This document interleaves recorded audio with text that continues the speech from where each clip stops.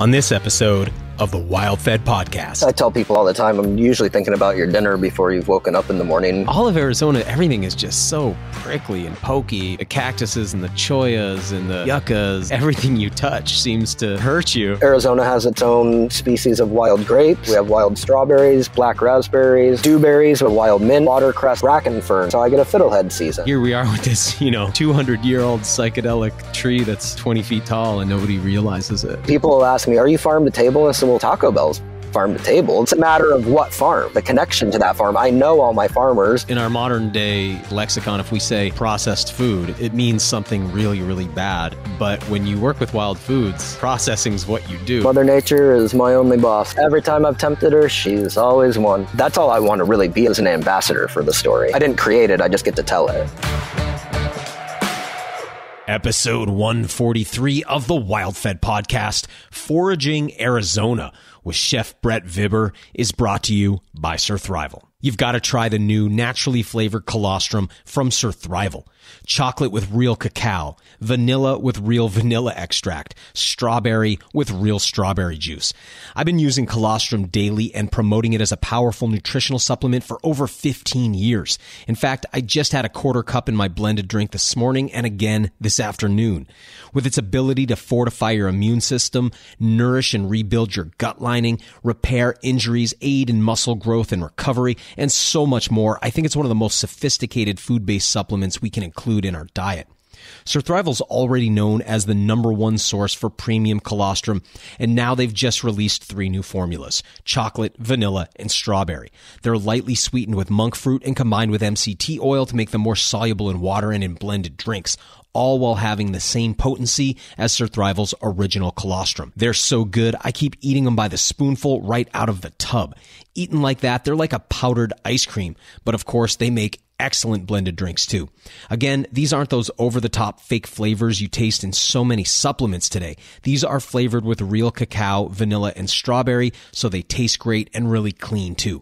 Go to surthrival.com to see the entire lineup of health promoting supplements and superfoods and use the coupon code WILDFED for 5% off your order. Surthrival. Why just survive when you could thrive? Do you love mushrooms? Do you know that eating mushrooms is called mycophagy? Mushrooms are, of course, a cornerstone of the wild food experience, but learning about them can be daunting. Would you like to learn to identify and harvest mushrooms, but you aren't quite sure where to start? Then it's time to check out the North American Mycological Association. The North American Mycological Association has 97 affiliate clubs across the US, Canada, and Mexico. So there's probably a chapter near you. You can check them out at namyco.org. For a completely immersive and in-person experience, including lectures, workshops, foraging, and of course, mycophagy, you can attend their annual foray. The 2022 foray will be held in the beautiful Missouri Ozarks. Again, go to namyco.org to register. When you do, mention WildFed and you'll get a free copy of Maxine Stone's book, Missouri Wild Mushrooms, when you attend. Again, go to namyco.org to get started. The North American Mycological Association, promoting, pursuing, and advancing mycology. I'm Daniel Vitalis, and you're listening to the Wild Fed Podcast, a show about reconnecting with nature through hunting, fishing, foraging, and food. Wild Fed. Food is all around you. Arizona is one of my favorite places on earth. I first started going there while I was in my 20s, visiting a hot spring there several times a year that was once the healing grounds for Geronimo and the Apache who rode and raided with him. Over the years, I've gone often from the Mexican border up to the Grand Canyon, from the high altitude forest canopies of the Sky Islands to the arid low-lying Sonoran Desert. I've even spent a couple of winters in Sedona, which has to be one of the prettiest places in North America. All the while, I've been passionate about wild foods, foraging there and experimenting with the unique ingredients found on that landscape. Yet somehow I had never met Chef Brett Vibber of Wild Arizona Cuisine. While I've known many casual foragers in Arizona, none of them have been professional chefs. So this interview was a treat getting to talk with someone who not only forages these desert ingredients, but also cooks with them for a dining room full of guests. You learn a lot from folks who have to think about ingredients at scale, and in particular, efficient ways to harvest and process these foods, as well as ways of using them you just wouldn't normally consider. Though we're on different career paths, Brett and I have a lot of overlap in our food philosophy, and this interview sounds a bit like two friends excitedly conversing about a hobby they both share. Next time I'm on the desert landscape, I'll be visiting with Brett, learning about what's in season and how he uses it. Far from the empty landscape that many people assume it is, he's carved out a wild food niche in a place where water is the limiting factor, where the summer sun can rob you of your body's moisture, and where the dry nighttime air can kill you with hypothermia.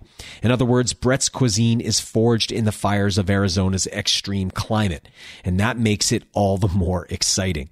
It's a place of sharp spines and venomous animals, of strongly psychedelic plants and even amphibians, a place where not long ago battles were waged to defend territory from invaders and to establish nation states. Historic and also harsh in the extreme, but also incredibly beautiful, giving rise to flavors found nowhere else. This is Foraging Arizona. Brett Vibber, welcome to the show. How's it going? So good, man. Great to have you on today um, to talk to us about uh, the foods of Arizona, man. Give us a little bit of a background on who you are and what you do. Uh, I was born and raised out here, but uh, kind of went went and cooked and traveled the, the country and the world for a long time. Wanted to work for good chefs, and uh, you know when we when we came back to Arizona eight years ago or so, I started my restaurant, and you know the the idea was going to be to focus on indigenous cuisine of Arizona, be it through foraging or you know having you know formed kind of these lifelong bonds with some you know different indigenous farmers and, and ranchers and and you know outlets where I felt like I could tie what had been going on since my childhood into what had become my career. What led you to well, I guess you know quickly. I'd love to hear how you got interested in cooking, and then it's one thing to be get interested in cooking. It's another thing to get interested in indigenous cuisine, wild foods, and things like that. Like, what was that journey, and how did you end up there? Right. Uh, you know, often I say, you know, I had a I had a busy family growing up, but I wasn't I wasn't one of the kids that you know was left to his own devices uh, for dinner or anything like that, and you know, I don't have I don't have recollections of really like eating uh, school food or or things like that. Like my mom and dad made us made us lunch, or we made our own lunch as probably we got older. For school, there was always fresh ingredients around our house, even even with both my parents being super busy and all of us kids obviously being being super busy with sports and different activities.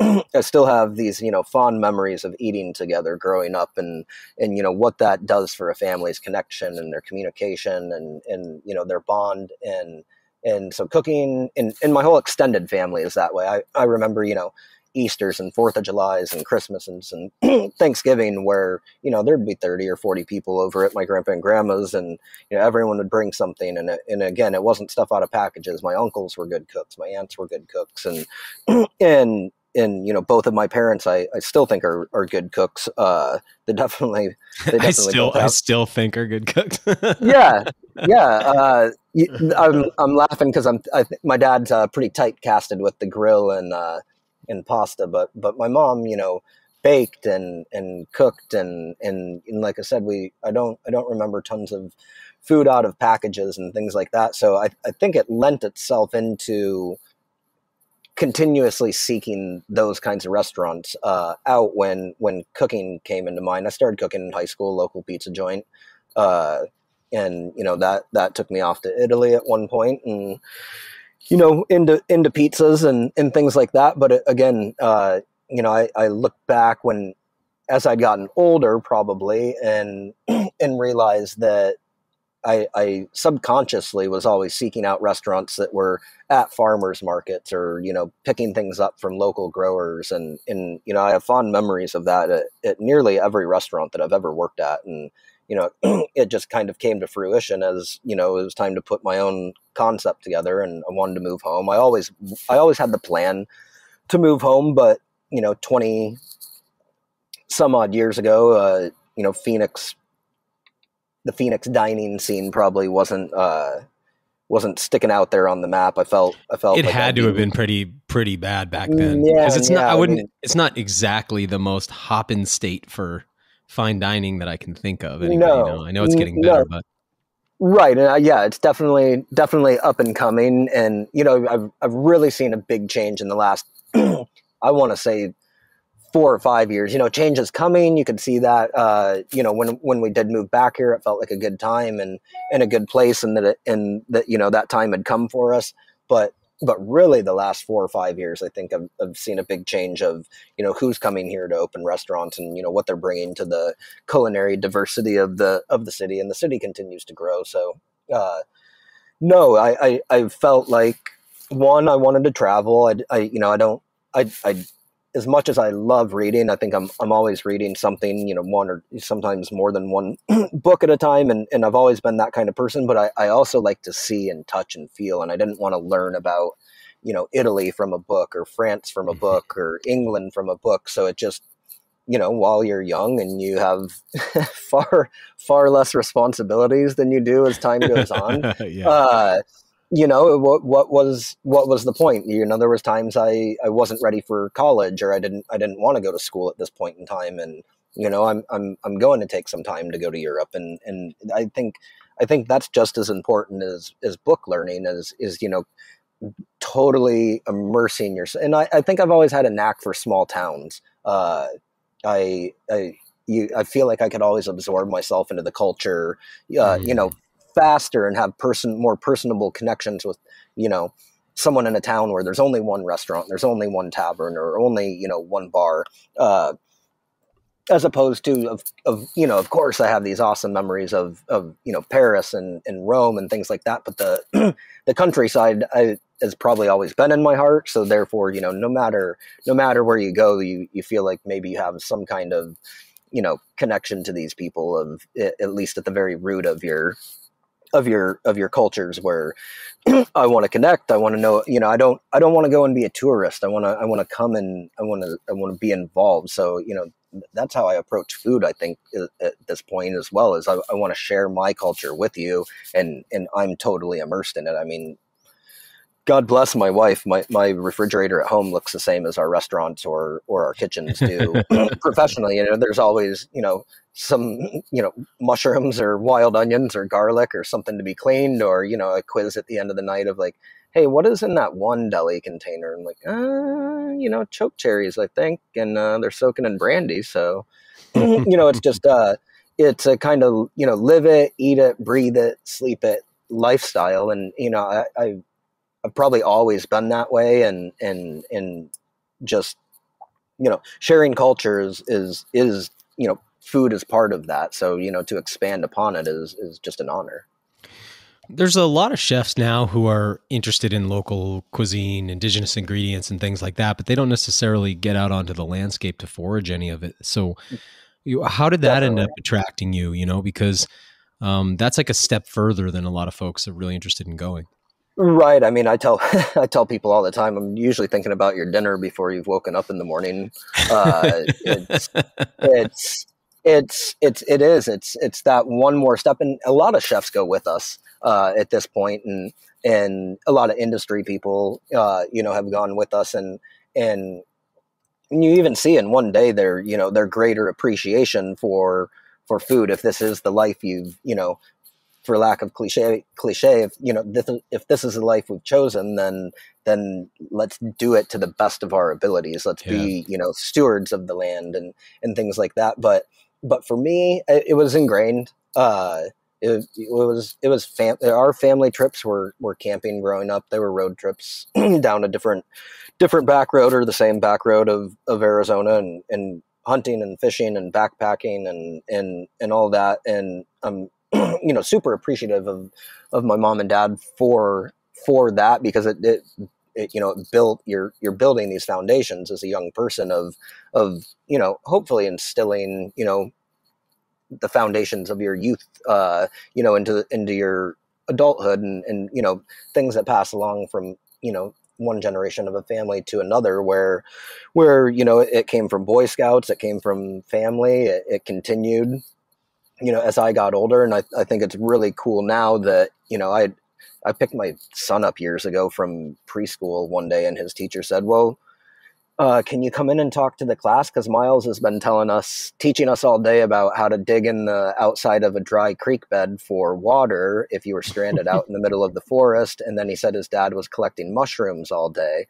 And so, you know, we get this an, in, impromptu four and a half year old audience of, uh, you know, teaching them about wild foods. And, you know, it's, it's awesome to see, you know, obviously my kids interested in that, but but when you see you know other young people getting interested in that uh, uh, it's it kind of you know lights you up inside when i think about arizona i i wonder sometimes if people who visited once or twice like maybe they've been to tucson maybe they've been to phoenix sure. even sedona um, they might just picture one kind of landscape and not real or maybe they've been to grand canyon and right. haven't maybe not seen like because once you punch up into Flagstaff, you're like, oh, this is a different place. Like now I'm up in pine forests or um, right. Yeah, I mean you know, we've got this super you know unique geography breakdown in Arizona. The you know Sonoran Desert obviously oozes outside of our state borders and national borders a little bit, but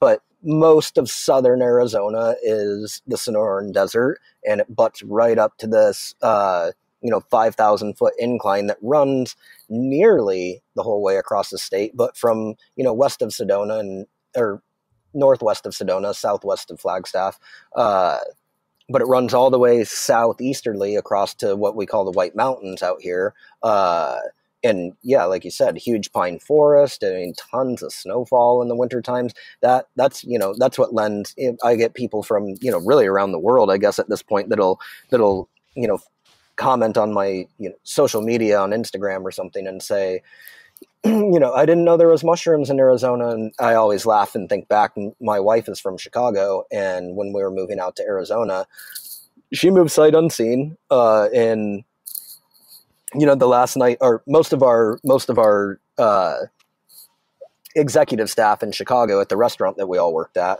was from Scottsdale and or, or, and or based out of Scottsdale. So there was a group of us sitting around in the office, and I said, uh, you know, tell everyone one more time what you think Arizona is going to look like. And she said, you, you guys know the cartoon with the Roadrunner and the coyote, and I I just that's all I can picture in my head. And I was Not like, that far off for a lot of and, it. That's pretty good. I mean, and really, uh, I drive through spots, and and you know, nowadays she's lived out here for almost ten years now, but. uh you know, will still drive through spots where she says like this, this is what I was picturing. So I wasn't, I wasn't all the way wrong. Like we have not passed anything except sandy red rocks that are pretty flat for yeah. hours. And like, yeah, I mean, well, we're on our way to something cool.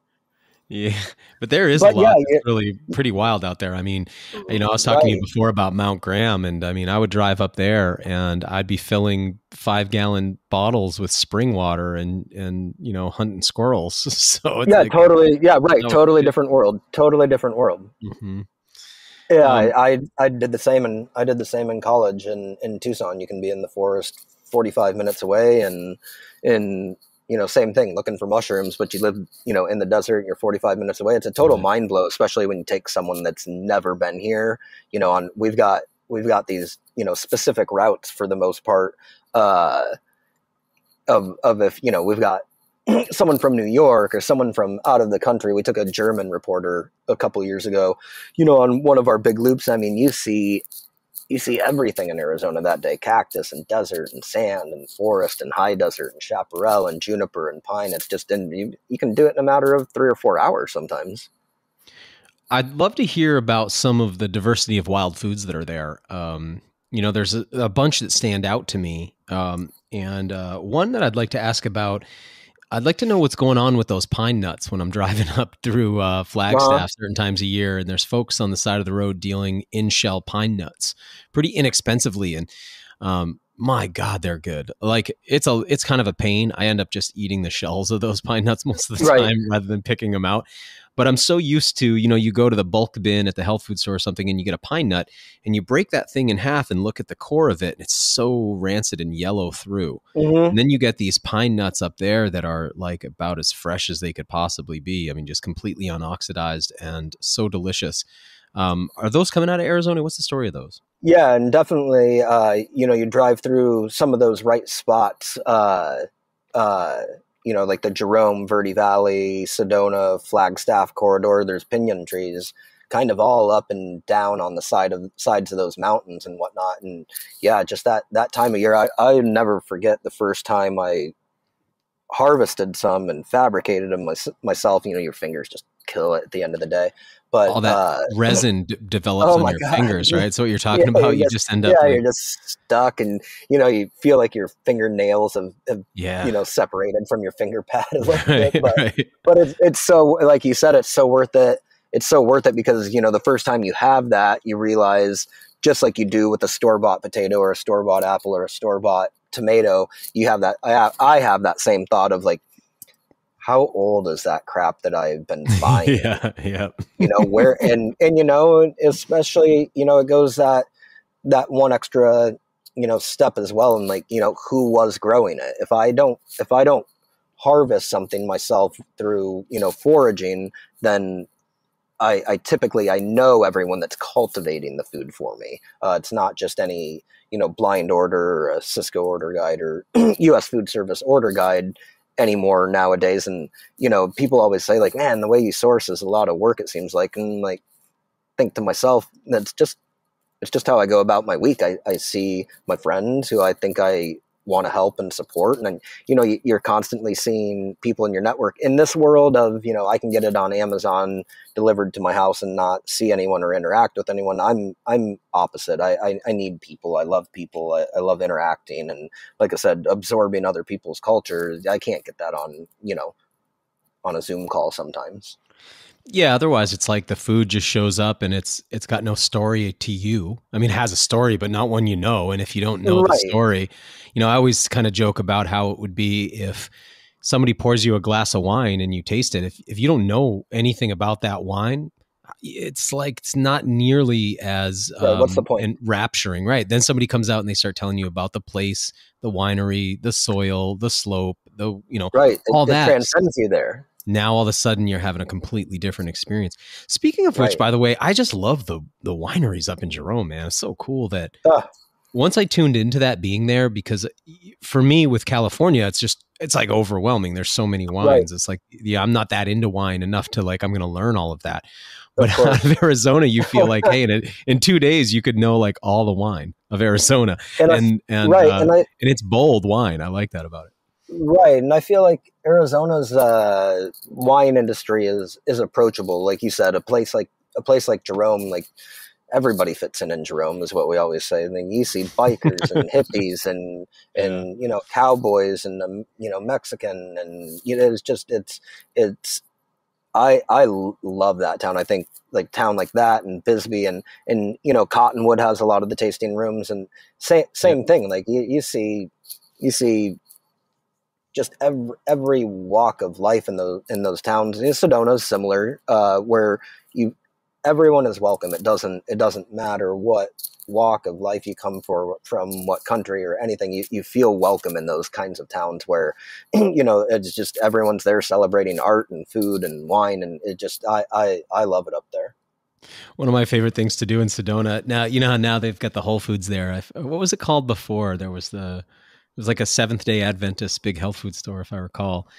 Um, oh yeah But uh, I love to go look at the uh, the bulletin board there for upcoming events and workshops. And oh it's so it's just- hilarious. right and anything i mean you could you could be you know, Channeling be Ashtar Command. right or, or learning how to groom a kitten or you know Yeah, just or yeah. paint, paint you know, drinking a bottle of wine while you paint the pictures of the red rocks it's it's, it's oh it's it's it's great. Some of those uh wild community- stuff out there. some of those community Facebook pages are just yeah they're they're just entertaining. And I don't need them I don't need them for anything. I'm I'm you know I'm in those towns a lot. We'll be at the Jerome Food and Wine Festival here coming up in a couple of months. So I like I said it's oh cool. it's like a I don't Jerome's like a especially you know weekends and things like that is it's like a you don't even have to really have a festival plan. The streets are overrun with right. pedestrians and and yeah. the bars open at six a.m. It's just I it's it's it's a good part of the state. It's also the fastest growing part of the state now. Uh, understandable because whenever I'm mm-hmm. there, I'm like, I love that hill climb to get up there. That road is so oh, sketchy, yeah. you know, as you drive up. right. It's such a cool spot. But yeah, one of the things I love about Arizona too is I feel like uh, compared to a lot of places, like in Maine, if I'm driving, I'm in this town and then I come into this town and then I come into this town. There's not like there'll be huge gaps, but it's like they're still townships. But then when I right. drive through Arizona, it feels like I'm in a town now for the next hour and a half. It's like nothing. Yeah. Then yeah, there's another town, you know. Backwards. And when you look at the map, you're like, it's like the wines. When I look at the wines of Arizona, I go like, my brain mm. goes, oh, this is simple. I could learn this. When I look at the oh, map oh, yeah, of I mean, Arizona, I'm like, I could learn this. There's like very few actual settlements there, you know. Right. I mean, you, outside of the Phoenix metro area, obviously, there's a number of cities attached or you know near Phoenix, but you get outside of that, like there's there's nothing connected to mm. Flagstaff. It's just right. it's just a city three hours away from Phoenix, and you get to right. Tucson, and it's the same thing. There's hardly really much of a suburb. I know a little bit more nowadays than there used to be, but but same same thing. And then you know you you can throw Yuma in with Flagstaff and Prescott maybe. outside of that, we don't. There's no other cities. Yeah, it's such a it's you know, and there's place just stretches and stretch. I mean, if you and especially like if you want to go, you know, the chosen way or whatever, you can you can avoid humanity. That's probably why a lot of folks are out there. Hey, yeah. speaking of Tucson, I know the uh, saguaro fruit um, just happened. So the saguaro yep. cactus. Um, I want to talk about that because I think a lot of people, when they imagine the desert, or if you say, you know, picture a cast a cactus, they envision a saguaro cactus because it's like yeah. the iconic symbol. Um, but a lot of people don't realize that that produces in, an incredible food. And right. uh, I think one of the just the best kept secrets of of the wild food world is that fruit, and it's in, pretty harrowing experience from what I understand getting at after it. I've never got to go out and harvest. So yeah, to we, hear a little bit about that. We uh, we just got done. Yeah, for for a number of reasons. It's for me. Uh, I tell everyone, you know, this is my truffle you know, for years I worked yeah. in high end restaurants and, and, you know, that, that was kind of like the most sought after thing is like, you guys have, you know, little chef pissing contest that, you know, in a, you know, bar after work in Chicago. I'm like, you guys got truffles on your menu. You know, that was just the thing. It seemed like for years and years and years. and, and, and I, I love truffles, but at this point in my life, I, I don't, I don't really import that kind of food. So the, that's that's the that's the thing, you know. Over the course of the years, is this is a really quick season for us. It's really hard to harvest, which means it's quick. You have to get up early. You know, all the factors that go into it means one thing at the end of the day: only only natives are doing it. You know, the way that the way that they have, and for for years and years and years and years and years. Uh, there, there's not really probably that many people outside of of a, of a couple of the the native nations that that are that are harvesting on a seasonal basis. So, you know, it can it depends on how much rain and and how hot it is that time this time of year in Arizona. Uh, so we we got some decent spring rain, uh, and you know, just like cactus fruits, like a like a stone fruit or like a grape, you know, you you see the fruit for a while before it's ready. So, mm-hmm. uh, you know, I see the flowers and you know the buds starting to come and you know maybe early May or something, uh, you know, to that effect. And and you know, with the saguaros and with them being so precious, uh, you know, we we don't harvest that many of them every year. That that makes it even more unique as a as a menu item as well. But uh, we wait for we wait till we see them start opening, and we let the birds eat them for a few more days uh, after that and and then then it's kind of go time. So then we're up by about 3.45 in the morning and and poising ourselves uh, for whichever whichever spot we're at to forage uh, for the day. You're you're up that early because the sun's up by about 4.15 in arizona at least it's it's beginning to come up and you, and you can see and you know you're looking 20, 30, 40, 50 feet sometimes up at these things. Uh, you know, the, the heat, the heat of the day is not the summer heat of the day in, in Arizona is not, is not conducive to, you know, uh, for, for foraging that well. You're, and it's not like, it's not just like a suck it up thing either. Cause it's like, it's like, no, it's dangerous. Dangerous. Yeah. We'll get back to the show in a moment, but first, Right now, I'm wearing my new Wild Fed hoodie. We really took our time choosing these hoodie blanks before we had them printed. They've got a charcoal body and an olive green hood and sleeves, and they've got our Food is All Around You logo on the front with a really cool foraging basket, fishing rod, and suppressed rifle on the back with the text Hunt Forage Fish. These are super soft and comfortable, look great, and work well in the field or in town. I really love the thickness too. They're fairly light and perfect for the spring days and summer nights ahead. Right now, they're 10% off with the coupon code HFF10 at wild-fed.com. Show your love for Wild Fed and the wild food lifestyle. Head over to wild-fed.com and use the coupon code HFF10, that's shorthand for Hunt Forage Fish 10, for 10% off your new favorite hoodie. Now, back to the show. Not only is it hot, but but you know you get you get in trouble with with you know controlling how much water is coming in versus going out of you, and right. and, mm-hmm. and it's just it's the desert. The desert's no joke, and uh, especially you know survival survivalist uh, type type things where where you know the, the temperature can swing 40 or 50 degrees by by day and more people die of hypothermia in the desert than from heat so easy uh, to underestimate how cold it, it will get it's just it's totally it's totally crazy. So you know it's getting to the peak of the hottest point of, of our year. So you know temperatures sometimes overnight don't drop under 100 degrees in in the in the sonoran desert this time of year. Uh, so you know i tell people and i just took a new person out uh, last week uh, you know it's about a two hour gap.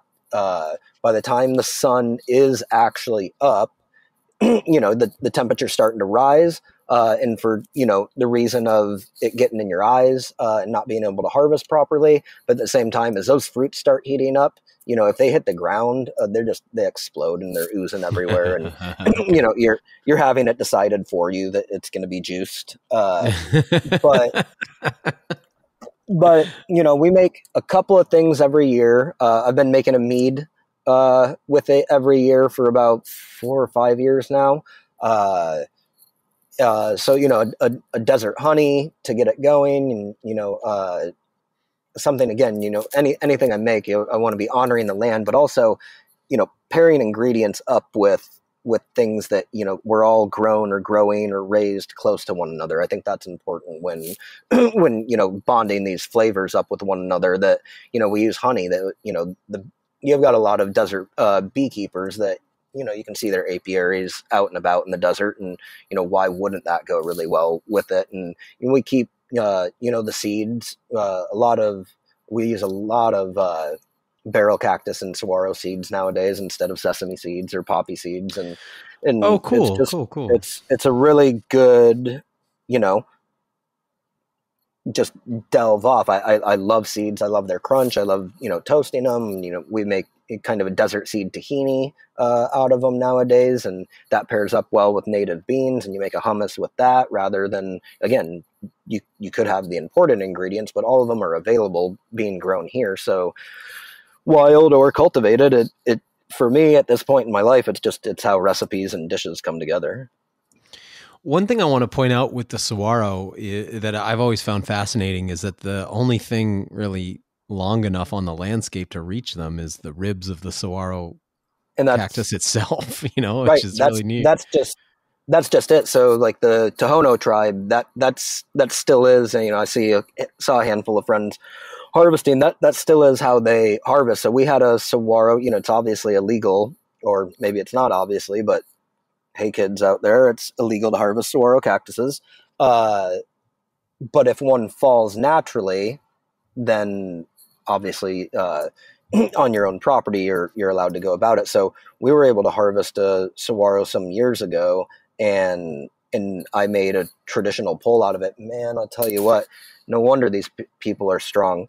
Uh, just in, I mean, in in enduring carrying that thing. They are so heavy walking across itself. the desert. Yeah. Really? Oh, and no so, kidding. you know, you there's even, you know, history that goes back that says you know there is stature in the tribe obviously and it, it's it's clear to make sense that the better crafted or longer that you're that you're harvesting uh, pole was the more you could provide for your family so it was almost a social status thing in the tribe of you know well I, I can I can reach that one I can reach that one I can reach that one you can only reach yeah. these two uh, where uh, it's it's it just it says so i mean to imagine people you know hundreds of years ago walking through the desert making sure you got enough of these to sustain your family for you know this mm-hmm. season and and things like that it's just it, it, i i never cease to be in awe of of ancient civilizations in in in you know societies that were here before us that you're just looking at things uh you know from a totally different perspective of of only taking what we need when we need it only growing what we should in in this season where where uh, you know i think current day modern day society we've lost track of that. You know we we want to grow what we want. We go to the supermarket and we get you know whatever you want whatever cut of cow or chicken or you know pork that that you choose for the night. But you know you again you lack you lack some connection and intimacy with the with the product at that point. Yeah absolutely. Yeah you know i think one of the interesting things about the saguaro too and i've talked about this on the show before although i'm always a little hesitant to bring it up and and as you mentioned like mm-hmm. when you said like hey kids this is illegal but right. the fle- the flesh of that plant is psychedelic and very few people right. seem to know it and i'm mm-hmm. sure that that was well understood by the native people of that region but it's they've they've done a good job keeping a lid on that compared to like let's say you know once once Americans and and Westerners around the world found out about let's say ayahuasca or something like that, it's like right. everybody's flooding into the Amazon. But here right. we are with this, you know, 200 year old psychedelic tree that's you know 20 feet tall and nobody realizes it and they just mm. drive by them all the time you know absolutely and you know there's i've seen you know a couple of the you know native tribes that are south in arizona will make a you know almost a hallucinogenic type wine out of it and and oh, things cool. like that and have you know their their rituals with it and it's uh apparently quite the quite the uh, ingredient when I'm uh, down in Sonora, that I really love to eat the barrel cactus fruits. You had brought those up a little while ago. Oh, yeah. Um, and uh, I mean, what a cool plant too. The the way that those spines are shaped, you know, the, the oh, yeah. way that they spiral around the barrel, I think is so cool. But those fruits at the top, which I guess like if you know we were going to describe them to people who never looked at them, they, they, almost look like a little miniature pineapple or something like that. Oh, but, for sure. So the fruit's kind of acidic and and watery and and you know I, I kind of maybe lends itself to like a chutney or something like that. But the the yep. interior is filled with those li- beautiful little black caviar like seeds that oh, you when you were describing using them. I mean, they're so nutty and flavorful, and they have such a great pop and crunch. Mm-hmm. Um, so yeah, tell us a little bit about that and how you work with them. Yeah, I mean, uh, kind of just like you said, the the flesh the flesh lends itself, uh, or you know, the exterior of the fruit lends itself to. I mean, the the diversity. You can make it sweet. You can make it savory. You can put it in vinegar. I have them. I have them in so many different forms. One because they go continuously. it's never too cold, and it's really uh, apparently never too hot. Uh, sometimes they're underdeveloped and a little dry at the hottest parts of the year, but but I have spots for barrel cactus that I know I can go to and fill up a five gallon oh, bucket pretty that. much all the time. Okay.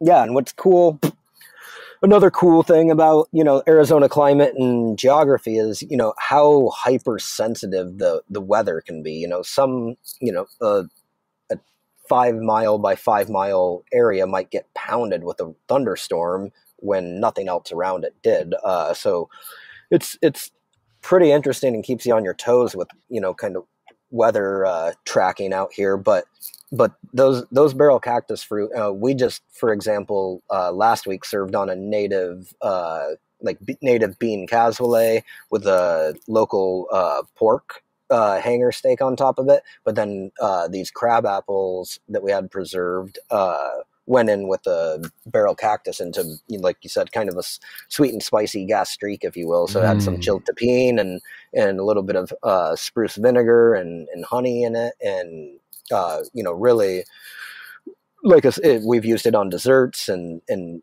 uh, it's it's a super diverse wild food that that uh, you know provides the seeds provide so many nutrients and and uh, you know good food is good medicine uh, just the same. And and those seeds I mean I I've roasted them like I uh, was saying we've turned them into tahini we've pickled them uh, I've, I've used them in place of caviar on like vegan sushi dinners and, and things like that that we've done. Uh, super diverse, super good for you. Uh, one of definitely one of my favorite wild foods.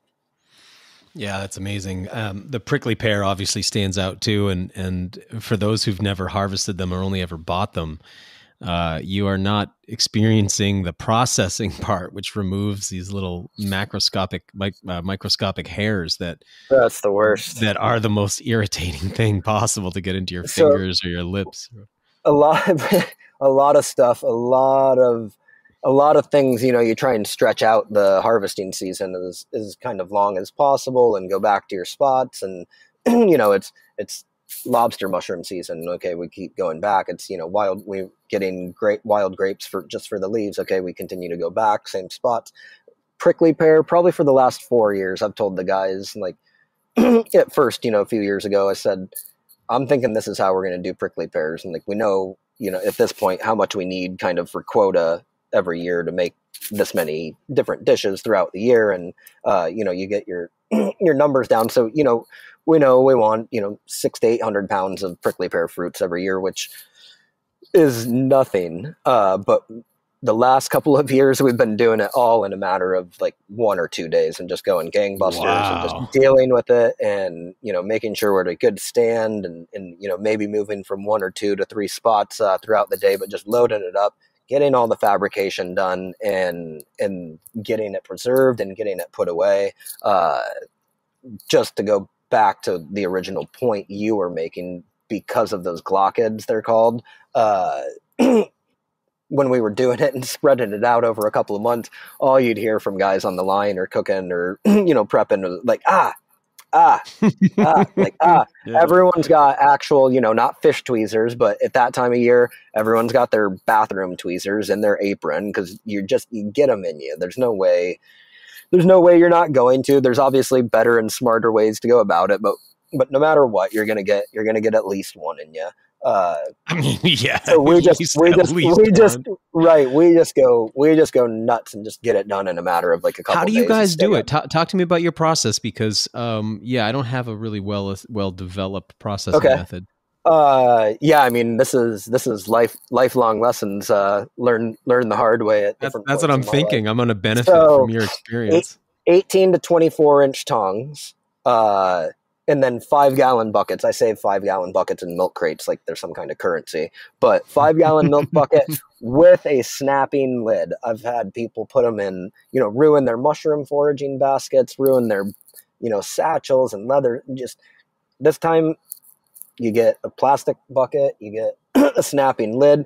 Uh, we used to get them from like friends that had. Uh, you know pickles or whatever at their restaurant and, right. and just ask for a bucket when they were done or save up a couple for us 18 inches, 24 inch tongs into the bucket, snap that lid closed at every stop.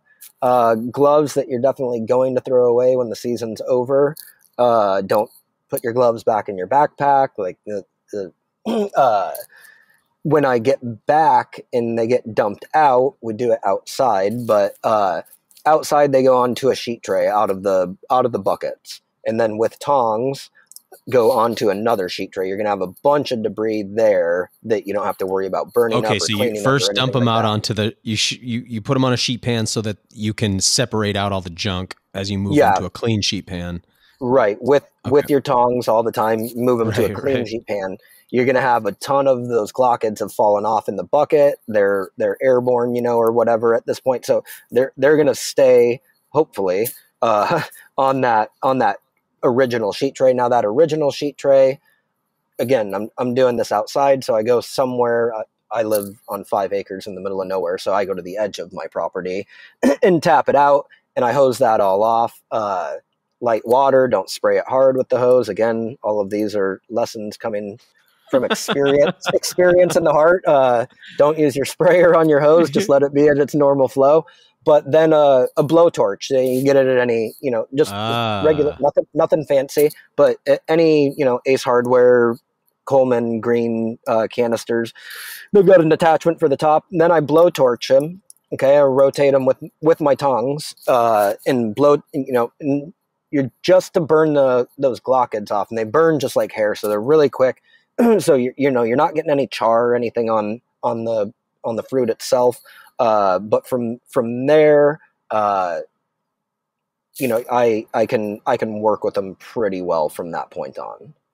It's incredible what's inside. I mean, when you're dealing with, because you know, all of Arizona, everything is just so prickly and pokey from the yeah the cactuses and the chollas and the yuccas and the, you know just like everything you touch seems to nature, nature hurt you right? but then yeah, inside I, there is like this watermelony seedy wet juicy just beautiful fruit huh? uh, it's yeah it's it's so good. And we like we were talking about with the saguaros and the barrels their seeds are similar you know barrels are uh, obviously a little bit bigger than the saguaro fruits but uh you know prickly pear has almost what looks like you know pepper seeds uh, to it. They're they're flatter and they're whiter. So a couple years ago, you know, we were you know going through it and juicing and, and peeling and coring and seeding, and I just I've, I've I felt like we were throwing too much of it away. I didn't couldn't really find any reference to the prickly pear seeds being used that much in food. So we thought we would just take them out dry them and treat them like mesquite pods uh, that year. So we washed them, dried them, and then we roast them till they, you know, get some color on them and caramelization, bring those natural sugars out a bit, and then we let them dry again. Desert stuff needs to dry before you mill it, mesquite pods and things like that. Uh, so we let it, we let them dry for about six months, and they, you know, we have a sun dryer that you know we can put stuff outside and cover it up, and it's protected from the elements, but still getting that natural sunlight on it. Uh, well, we ground it into a flour. Uh, and and I've been using it in baking for the last few years. I wouldn't have thought you would render anything edible out of those. no, really me neither. It was and wow. it was it's unique. Uh, it's unique, and I, would say we you know kind of look for it. Uh, it was really hard to refine into you know you know what people are thinking about as you know flour. It was almost it was almost like a cornmeal uh, yeah. consistency. So so you know it, it you know when you're looking for something in texture with baking and bread or something like that it's it's lent itself to a nice kind of crunch and earthiness and and again you're not you're not throwing away you know, 20 25% of of what you've collected wow and you just brought up mesquite i feel like that one deserves a, a little time too i mean you know the and it, and it seems like with everything we're talking about, there's like multiple uses. Like, because when I think about most of the fires I've sat around in Arizona, it's mesquite sure. that we're burning very often.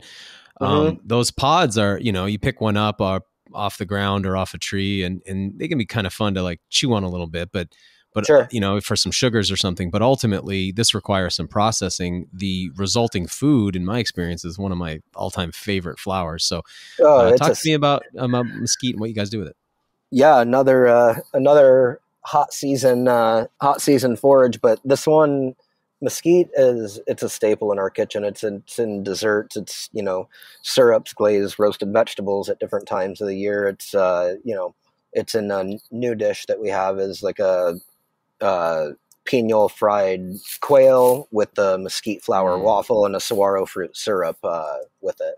Wow. So it's it's it's always it's one of the first foods I learned to forage. It's one of the first wild foods I can remember learning how to fabricate. Uh, you know, and Cub Scout sometime is you know in elementary school at some point, but but you know natives call it the tree of life. It can it can provide you with food. It can provide you with shelter. It's it's it's so it, like you said it. You, every fire you've ever sat around in Arizona seems to be around mesquite. We harvest a ton of it every year. It's it's it's plentiful, you know, throughout the desert regions. Uh, it's it's so it's so vital to to native and the wild way of life that that you know you want to honor it and you know like you said it, it it's it's it, I find myself harvesting mesquite at different times of the year for different things. You know, it might be wood for the smoker, it might be greenwood for the smoker, it might be deadwood mm. from the, for the smoker, it might be uh, you know pollen to to get into pasta flour, or might be flowers to garnish with. It might be uh, you know I'm just just getting into it. Probably when we get back, we're we're on a trip here for like the next ten days, uh, starting on Saturday, and when we come back, it'll be kind of you know full steam ahead on on uh, mesquite pod. So all we do with mesquite, uh, for the most part, you can either be present or not present. But even just on my property, uh, drop cloth around the trees underneath on the bottom. Uh, the pods when they hit the ground are are typical and apt to pick up a toxin out here in the desert. Uh, so right off aflatoxin is that what they they get? Yeah. Yep. So we suggest not to eat them, you know, off the ground. It doesn't mean that every single one does, but if you can avoid it, uh, you, then you go for it. So uh, same thing. Uh, you know, I can see them. I can see them flower. I can see them pollinate. I can see them start to turn into seed pods. They stay green. You know that, that not really any of those times are you know times that we're going to harvest uh, pods for flour, obviously. So you have this this time, you know, while you're in nature that you're you're you're harvesting and you're probably in one season, but your eyes are to the next season and the upcoming seasons mm. all the times, and you know, watching, you know, okay, that bush is is is greening out again, so that means we're you know a month away from flowering. That means we're two months away from fruiting, and and then you know it just it continues to evolve, and you know, there's usually a few things going on at one time, but but we'll get the drop cloths under when when we see that the pods are nice and naturally air dried on on the plant. Uh, and then you can shake lightly on the branches to have them come loose or or you know you can leave it overnight or for the day and, and come back and you know pick them all up off your shade cloth or off your drop cloth rather. Uh, and so yeah from there you can either mill them fresh. I have a lot of friends that mill them and you get kind of a you know, a whitish flour with a bit of a yellowish uh, hue, not, you know, just a little bit lighter probably because you're adding air and pulverizing it as you mill it. But it's not the seeds uh, that I, I find people are often surprised. It's the, it's the pod and the starch of the pod around the hard seeds that, that makes the mesquite flour. Uh, and, so, and so people can picture this. It sort of looks like a yellow bean pod or pea pod or something yeah, like that. Right. Right. Like a, yeah, long, a long kind of, you know, thicker, thicker snap pea, you know, or a, you know, I tell people it looks like a green bean that's been pinched all yeah, the way down. Flattened a little bit. Uh, right. Uh, and so, you know, typically we'll mill it in different forms. So, uh, we'll mill it, you know, fresh like that and just naturally air dried but also I like roasting it. Uh, it. It brings out you're touching on the you know the natural sugar rush that you can kind of get from them and little pick me ups and and whatnot. So we like to roast it, and you know brings out these chocolatey, coffee, cinnamony uh, tones uh, to the mesquite. And, and therefore lends itself again to you know all these different facets of, of uses uh, we a couple years ago have a friend uh, that's a coffee roaster, and I took a ton of mesquite pods with him, and we roasted them just like coffee beans, and then we did a cold brew out of it, and we made oh, mesquite wow. tir- a mesquite tiramisu for the season uh, with mm. mesquite flour for the lady fingers, and then and then soaked them in that cold brew, uh, obviously mixed with a little local liquor, but. Uh, it, it's it, this this plant is so diverse. I can I can just continue to draw off of it for for a number of different things. It's I mean, for something I've been foraging for thirty some odd years, it's oh, it's oh, wow. it's still really exciting. And, I, now and, I have a friend who who bought an industrial hammer mill to to work it. So I'm okay. curious, like that's how he's doing it, and uh, mm-hmm. you know, obviously this isn't something you you do effectively long term in your your Vitamix or something like that. I mean, right? It's those. It's and I imagine because those seeds.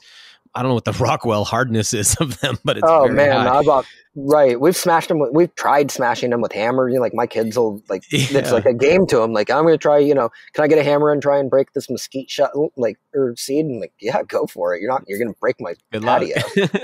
right. So how are you guys? What kind of equipment are you using in the milling? Uh, for the most part, uh, I'll do a, a, like a three or four step uh, process. And I'll tell people uh, we're fortunate enough to have friends that have flour mill uh, just on the southeast side of uh, Phoenix. Uh, so when I'm doing them in large scale, obviously this process is going to break all of your equipment. Again, uh, to speak to speak from some personal experience, uh, but when you are doing just a small amount, I've I've told people before that if you have a food processor, so you know we use Robot Coupe brand, but if you had like a Cuisinart processor, uh, you can blend them there and that's that's getting you a rough chop on them. So the the idea here is that one piece of machine your machinery is not doing all of this work, but most people have all of these pieces or have access to them. If I I could uh, have chopped them up in uh, the food processor, then it's usually uh, breaks the seeds away from the the pod at that point in time. I can sift that through uh, a, a yeah. large colander, then I can go to a Vitamix, and then a KitchenAid. Then easy to break down, uh, yeah.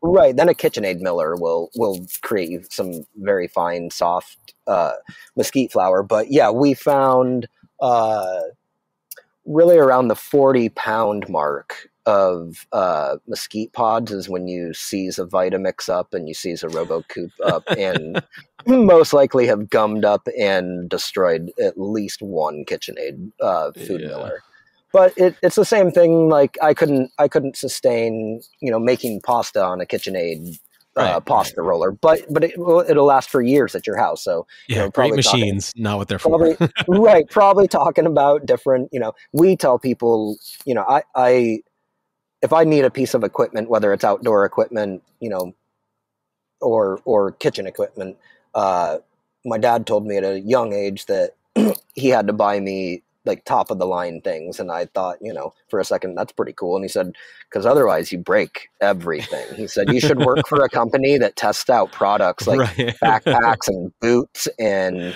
and jeans and every if something's not of high quality like production you know it wasn't that it was expensive it had to be like high quality uh you know put together because uh, i and i still look at myself and like yeah i can't i can't get that I'll break that if I get that. You know, you, you know, yeah, look at a, like a go to get a new drill at you know Home Depot and have this man versus self thing for 15 20 minutes of like you know that's the one that I feel like is good for me but looking at one like well that one doesn't look like it's going to break.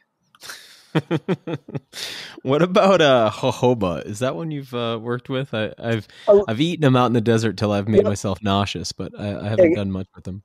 Exactly, it's a uh, it, there's there's some things I tell people jojoba and cockleburs are probably the two things that I that I like that I don't harvest that much, uh, it, or at least in any quantity because because of the ratio, I suppose, of time invested versus what I get back out of it.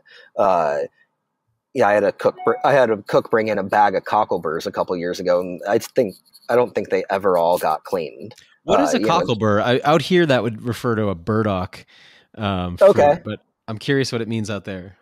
Uh, it's same species, but when they're oh, dry, okay. you can bust open the little fruit, and there's a nut inside of them. Oh, gotcha. Yeah. Okay. Uh, and, but the the fr- I, mean, um, I don't know. Like our our fruits are spiky. They're almost like a star thistle. Uh, yeah, they so just, yeah, like a little one, right? They, they're like an yeah. It's just it's. I said he said, well, look, you know, very proud of himself. He said, look what I found. I said, that's nice. He said, have you ever found so many? I said, well, I I mean, I know I know tons of spots where he said, oh, you know, there's a spot down the road that's got a bunch of them. I said, oh, I know a lot of spots that have a lot of them. He said, so how come I don't ever see you use them too much? And I said, because you're going to clean those, and then you're going to tell me if you're ever going to get that many again. it's just it, it, took him you know three four days of all of his spare time in the kitchen to get you know a 16 ounce deli container of this processed fruit down your fingers are punctured and and things like that. So uh jojoba's sort of in that same uh, boat for me where we've we've gone after it a couple of times but in general uh for me it's it's one of those things that i can i can always depend on to uh, either snack on while I'm foraging or know, know that I could sustain myself in an actual survival situation. Tell me though, like I'm curious. Okay, my experience of it, which is limited, is like I'm walking through the desert and I'm pulling off these I don't know macadamia nut size nuts off the landscape. Um, so it's not the same deal with the burdock because that's like difficult to process. What is the challenge with jojoba? I'm curious. Um, I, for me, it's been a couple of different things. One, uh, getting getting to it maybe at the right times mm-hmm. uh, for it to be at the peak size. It's kind of a quick season, uh, but also where to get it into maybe said dishes on the on the got it on the regular. Got it. Makes sense. Um, what am I leaving out? Because for sure, there's some. These are the iconic foods that came to mind when I started thinking about. Absolutely. Today, you know, uh, what am I leaving out? I think I think those are the iconic Sonoran desert foods. So so right. if you move up into the forest, uh, you know, morel mushrooms, bolete mushroom uh, family, so your porcini Just mushroom never family. Never would picture that. Never would Lo- picture that. tons of lobster mushrooms. So lobster mushrooms wow. obviously aren't a mushroom, uh, but but they attach to mushrooms, and they attach to mushrooms. Uh, it's a parasite that lives in dead bones. Uh, so typically, it's obviously going to be you know livestock or or deer or elk or I, something you know fallen. I never knew that. So okay, I, I was aware that this was an, a fungus that parasitizes another fungus, but I did not know that it that it resides or hosts inside of bones. That's really neat. yes. So what's kind of cool is, uh, you know, you can you can find you know maps of of old Arizona land registers and whatnot and see where farms were and ranches were, and every ranch has a bone graveyard, if you will. You know, just it is what it is. It's part of ranching. Uh, and so the our best lobster mushroom spot is south of Flagstaff, with on a spot that's now national forest, but must have just been a, this massive ranch back in the day before you know interstates and things like that. And man, we've got like a probably an acre or so where they just explode all over the forest wow. floor. I mean, it's one of those most choice of edibles, I'd say. You know, the oh, texture oh, is incredible, right? yep. Wow. And yeah, it's cool you have uh, morels too. You must get some burn. Do you do you need burn sites up there for for good morel harvests, or, or for the most part? early in the spring, you'll find them a little bit lower elevations, like 3,500 feet for us, which is you know low for mushroom growth. Uh, but but those will be blondes, but they'll flush up into this time of year if it if the rains are sustaining us. That we're just through all the burn all the burn zones, which unfortunately at this point there's quite a bit of them out here in the west, uh, as everyone knows. But but you know you have to find some good with the bad, and yeah, that's where that's where we'll get a typical uh, good morel flush. But you know Arizona has its own species of wild grapes. Uh, we have wild strawberries, black raspberries uh, dewberries, which are like a blackberry family. Uh, Highly underrated smaller. fruit. Highly underrated fruit. Yeah. I've got a I've got a dewberry patch. I was actually oh. today looking at the flowers as I walked by it because it's right on my. You know, we yep. live on a little dead end road, and and I was I look at them and I think like, man, people have no idea because their flavor is really you know when you get good ones like ones that are are, oh. are hydrated yeah. and getting good nourishment from the soil, man, they're delicious. I love them. Again, yeah, for, again for sure. My parents had this spot. Uh, up north of uh, Payson, so kind of you know you're getting more east central Arizona, but on the other side of the Mogollon Rim, uh, where Tonto Creek and Horton Creek met each other in the summer times. I, I'm I'm probably you know off, but it, it felt like we went every weekend uh, nearly to hang out by the creek, and it was you know this time of summer, and uh, and we were always just up and down the creek picking dewberries, dewberries, dewberries. Uh, we get a lot of wild mint obviously out here, a lot of mm-hmm. watercress out here. Um, I mean, it's it's some kind it of crucifer and on and on. There's a crucifer I used to harvest that we always talked. We always called it arugula. It was some maybe a black mustard or something like that. But oh, uh, I spent ton, a lot of time yeah. around the around I was always around hot springs when I was there and so there was okay. you know a bit of moisture so right. we'd have you know we'd have stuff that you probably wouldn't see around most of the state yerba mansa comes to mind yep. like just uh yep. incredible medicinal plant or you know glasswort or things like that that are and you know that's the uh, that's the other cool thing about you know Arizona's geography is you know through the desert you know there's a spot there's a spot just about 25 minutes from my house uh, that's same elevation that I live in. But the spring, the creek is spring fed and it runs all the time. And in the hyperclimate that it creates right next to the creek is just unreal. I love taking people there that aren't from here because you literally park in the desert and walk 45 feet into the forest next to the creek. it's just, it's yeah. totally, totally unreal. Uh, where, where that, you know, you're in there and you know, cattails are one of my favorite things uh, to forage. Yeah, I think, right. I think, I think again, we we we can harvest them at all different times of the year, uh, different times in their life for different uses. Uh, super, super diverse uh, wild food. But you know, the list the list continues and continues to grow for me. Uh, you know, there's there's things that you know I know and I find in Arizona and I have found, but things that sometimes you don't find in in prevalence for years and years and years on end. To you know actually say like I can put this on a menu, you know, 45 nights of the year. Uh, but but things that we you know always draw on. We we first started collecting acorns about five years ago, uh, just because we used acorn flour at that point, and you know it's that it's that never ending curiosity as well of like yeah, I don't want to buy acorn flour anymore because we have a million acorns here. And, you know, we can do the same thing. We're already making mesquite flour. Just, you know, put it, put it on the list of another sleepless night. Uh, yeah. But that's, that's delved all the way into, I, you know, I think we were talking about my buddy that makes uh, Arizona sakis up on the Navajo Nation. He's Japanese. His wife's Navajo. But I've learned so much from him just by being around. You know, he has koji. I, I, I, worked in Japanese cuisine for years and years and years, and I was always around miso. And again, ordering really good misos or or you know sourcing really good misos. So over the last three or four years, I've I've just I've gotten in. That's another one of our preservation techniques is is miso. So it just it adds another another you know facet to your creative outlet is you know so now we've got acorn miso and we have tepary bean miso which is a native wow. native bean grown by the tohono south of phoenix and and and things like that where you know we've got we've got uh, bracken ferns up in the forest. So I've got you do fiddle, really, I, yeah. So I get a fiddlehead season. I love uh, this. I love bracken fern. I just did an oh. episode. Uh, we just filmed an episode for season three of our show about bracken fern.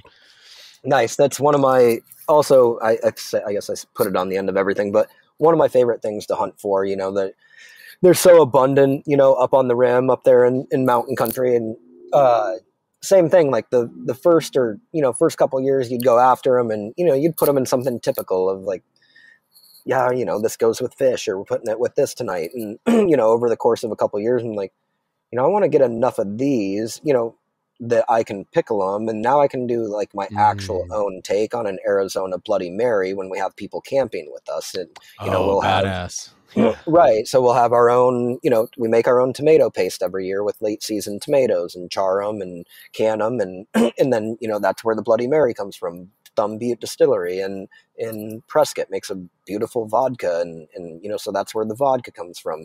Chiltepin can make it spicy, and and and you know we just add one more one more aspect of of creativity or intimacy to to a dish or a drink at a time where a couple years ago you know we had pickled green beans and we grew the green beans and we pickled the green beans but like i don't know just standing in the forest one day i'm like i'm gonna make a whole bunch of these jars into pickled ones for uh, the bloody marys at camp wild chef and everyone said yeah, that sounds great. And it was. It's it's again, it's a conversation starter. Someone gets to hear the story and and you get to transcend someone to your train of thought of like, I grew these tomatoes and you know, close your eyes. I was in the forest when I picked this green thing and you know, just it, it for me it it it, it creates a never ending just well of passion and, and inspiration.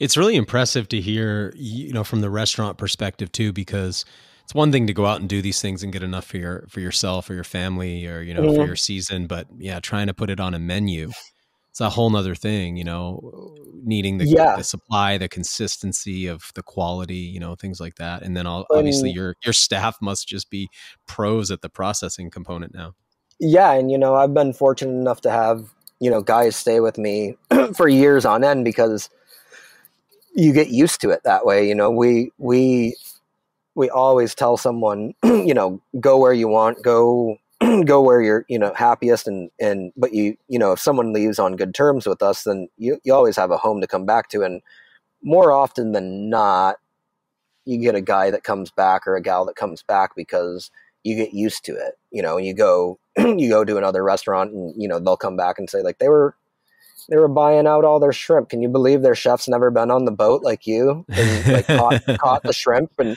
like their yeah. sock, their salmon? They didn't even know where it was from. It was farm raised and like like I'm too used to you like being gone for six weeks catching all the salmon for the year and then it being off the menu when we're out or like I'm used to going to the trout farm and catching the trout ourselves and and coming back to serve it that night and being able to tell a guest about it you know when they're having a tasting menu so it just it, you know it's not I tell people often, often like it, it definitely can't be about the money because no one's become a millionaire yet. But but at the end of the day, you're so happy doing what you're doing that as as long as you're you know surviving, then you're you're happy. You can't replace that with anything.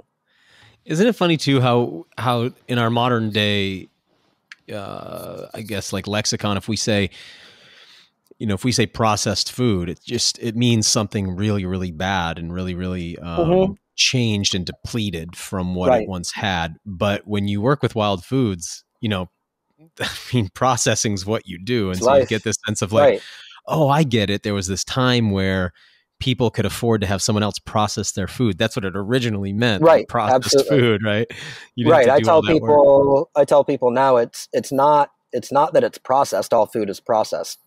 it's the process. It's the same thing as yeah, you know, people. People will ask me, "Are you farm to table?" And I said, "Well, fuck, Taco Bell's farm to table. They the lettuce obviously was grown at a farm, and it, that originally I assume was beef on a cow. But it's a matter of it's a matter of what farm. It's a matter of the yeah. connection to that farm. I know all my farmers. I know they're not in it. Same thing. I know they're not per se in it for the money. They're in it for the passion first and you know the business you form your business around that passion. I think those are the best people to work with but but you know to say you know you know i don't eat any processed food and like well i processed saguaro fruits for 17 hours the other day so yeah. I, I do. but I, right but you yeah right. You watch the process in which it was in which it was fabricated though and the same same thing i i as someone the lady a lady asked me you know in an interview or a podcast or something at some point uh, was about yeah i just i get sick of you know the the catchphrases and the trendy the trendy things of you know are you organic or are you farm to table? And i just had said it that day like well all food is grown at a farm but but geez you gotta you gotta know you gotta know what it is. So you know i'm not not trying to buy off you know big commodity farms where i don't have any connection to anyone. I think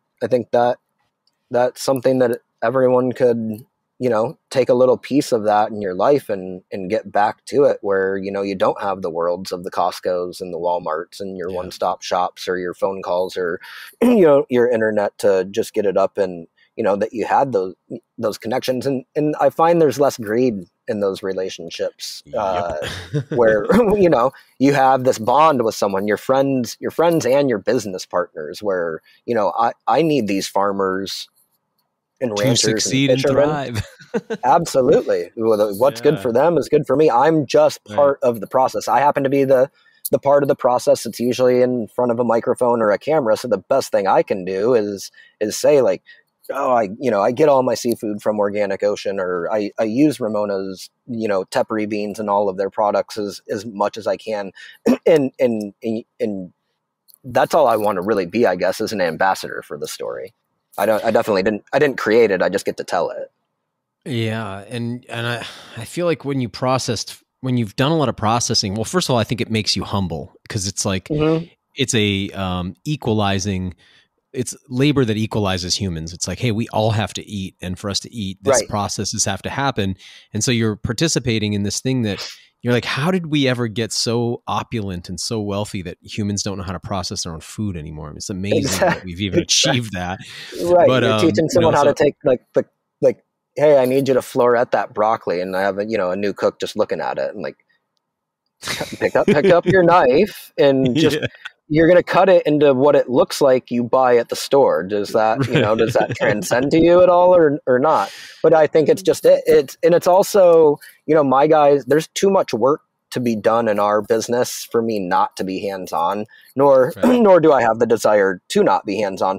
So, like you said, it's it's it's humbling, but but also bond forming that yeah. that my dishwasher and me are most likely standing next to each other, right, processing something during dinner service every night. I've become convinced that the origin of music is in food processing. It's like it has to be. she's pounding a stone over here, yep. he's scraping a mano over here, and before you yeah. know it, you guys get in a rhythm. I mean, so talk about bonding, and then I think another component too is when when a company's making really big profits off food.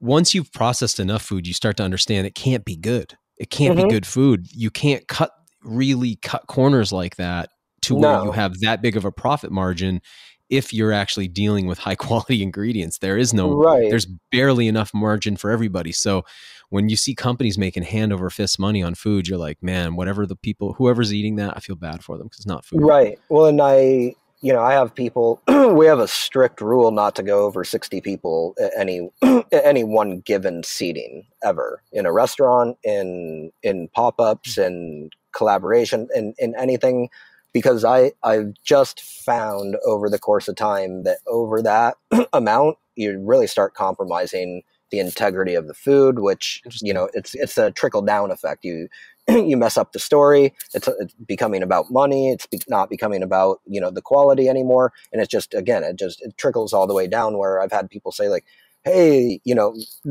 maybe a bigger company than me, or you know people that are out there in the wedding world or the larger event world of, of caterers where you know I've never really considered myself a catering chef because if I if it's if someone asks me for anything over 60 we usually refer them to someone else I've I've had other you know groups of chefs that say like hey you know we could all get together and I could bring my whole team and you could bring your whole team and we, let's do this for 200 people I'm like no nah, you're already missing my point because yeah. how am I going to talk how am I going to, you know, how am I going to connect with those people? And, you know, I don't want to scream over a microphone or a megaphone. And it just, you know, uh, right out of the gate, I'm, it's missing the point of what I'm trying to do. Like 20, 20 to 40 people is my sweet spot. You know, I can, I can, I can see every single person and, and, and interact with everyone and, and, and really hold that intimacy and, you know, in the palms of your hands and, and, and not control the dinner, but guide the people on the journey that you're trying to take them on. Yeah, and yeah, and the journey that they're there to be on. So exactly, making sure they're actually getting it.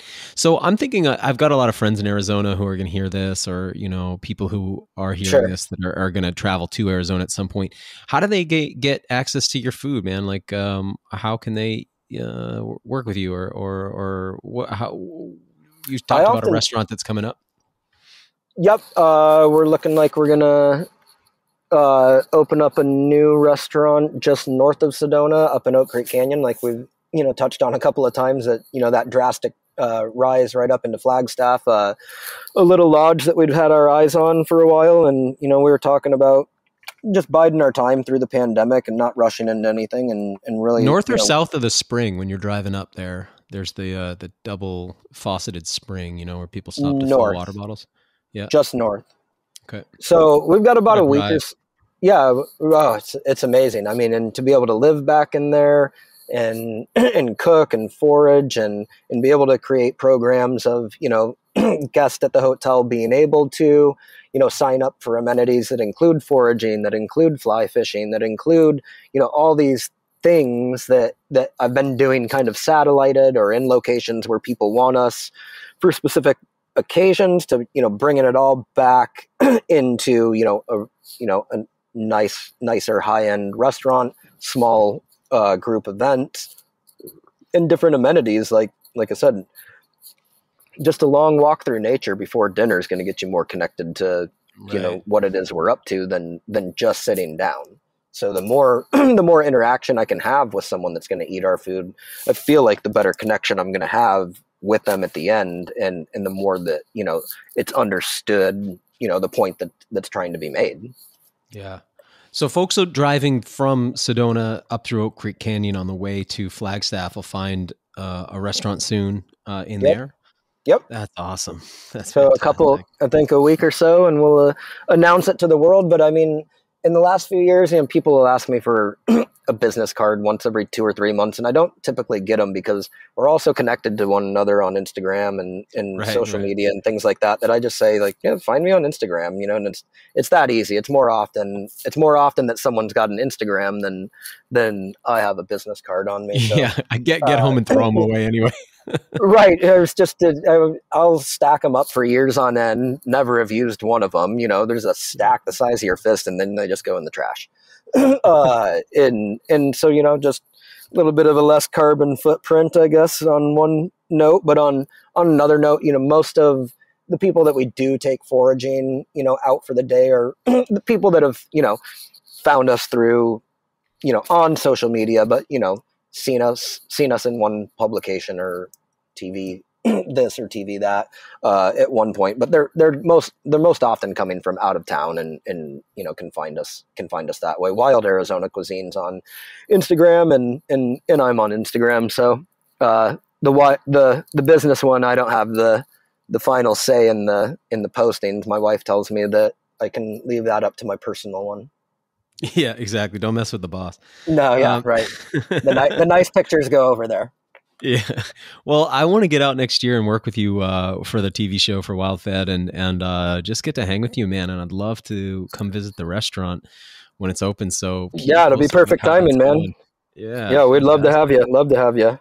Well, I, thank you for what you're doing. Um, geez, I'm I'm really impressed with the integrity uh, behind your food and um, your willingness to put in the work that it takes to get that kind of food. So, just yeah, awesome. I know support. we probably yeah, I think we probably just scratched the surface on what you're actually doing, but uh, it's really it's really awesome and refreshing to hear. And in a place that um, it's got to be pretty hard to do out there. So yeah, yeah it's, it's well uh, done, man. Well done. I tell people often, Mother Nature is my only boss. You know.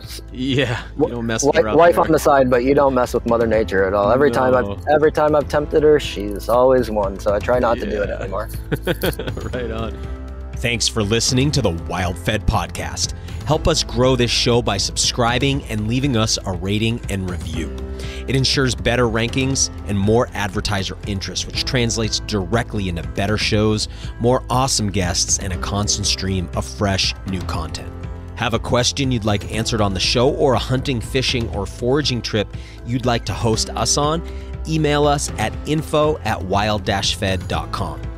If you still haven't seen season one of the WildFed TV show, you can go to myoutdoortv.com, grab yourself a free trial subscription, and then check out all 10 episodes. Season two of WildFed premieres on Outdoor Channel in early 2022. And be sure to visit our website, wild fed.com, to check out our store for WildFed hats, stickers, and more. WildFed. Food is all around you.